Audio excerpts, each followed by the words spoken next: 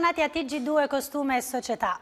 Fantasiosi, colorati e non impegnativi, i gioielli dell'estate 2016 sono fatti per una donna che non vuole passare inosservata. Maria Teresa Fabris.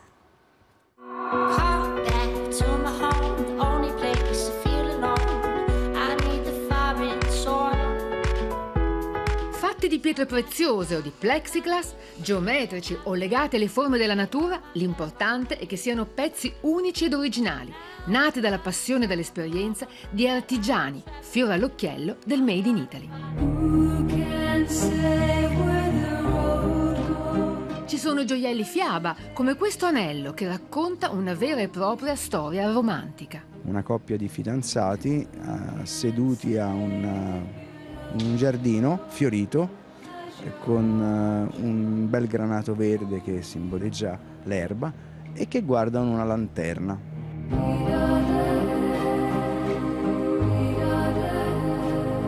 Non mancano ragni di quarzo che cercano di afferrare mosche di granato, preziosi gufi portafortuna, brillanti scorpioni diventati spille. Abbiamo due collezioni, una ispirata al passato, alla storia e un'altra a creazioni estemporanee in base anche a pietre che riusciamo a trovare in giro per il mondo. Ma come le viene l'ispirazione? Eh, non lo so. Viene da una grande curiosità per la vita.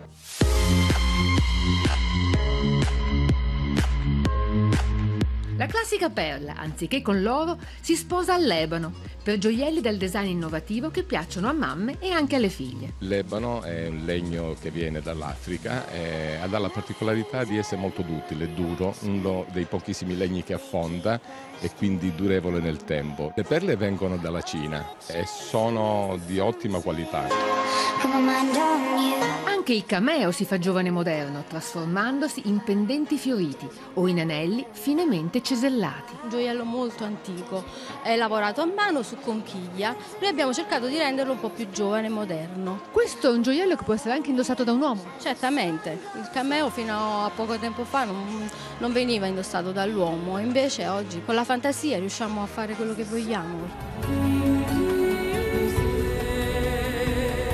Andando a ritroso nel tempo, ecco le creazioni ispirate ai monili degli antichi romani, realizzate con la stessa tecnica dell'epoca di Cristo, in pasta di vetro declinata in mille sfumature. Che donna indossa questo gioiello? Ma è sempre una donna che cerca un prodotto di nicchia, non è una donna che vuole il gioiellino cinese, vuole il Made in Italy.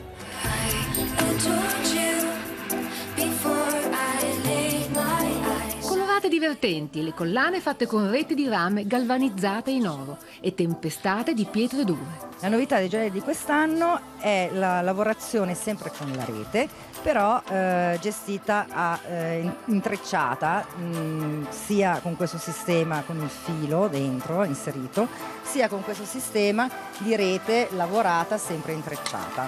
Le pietre sono pietre dure, calcedonio, prenite, ambra, sodalite. Il prezzo di una collana come questa è sulle 150-160. Alla fiera Sabo di Roma non mancano gli spunti per gli accessori. Molto romantiche e chic le borsette esclusive realizzate tutte a mano. Sono dei nostri maestri artigiani, le facciamo tutti, tutte a Caserta. Che tessuti hanno?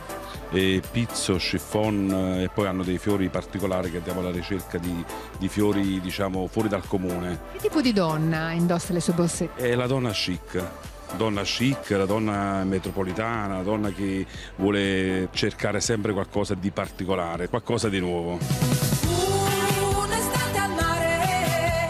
E tra tanti gioielli anche le scarpe devono brillare. Si vuole essere belle ma con una certa personalità, per cui i gioielli e le scarpe sono due cose molto rappresentative. Con tanti accessori colorati e luminosi non ci resta che sognare l'estate.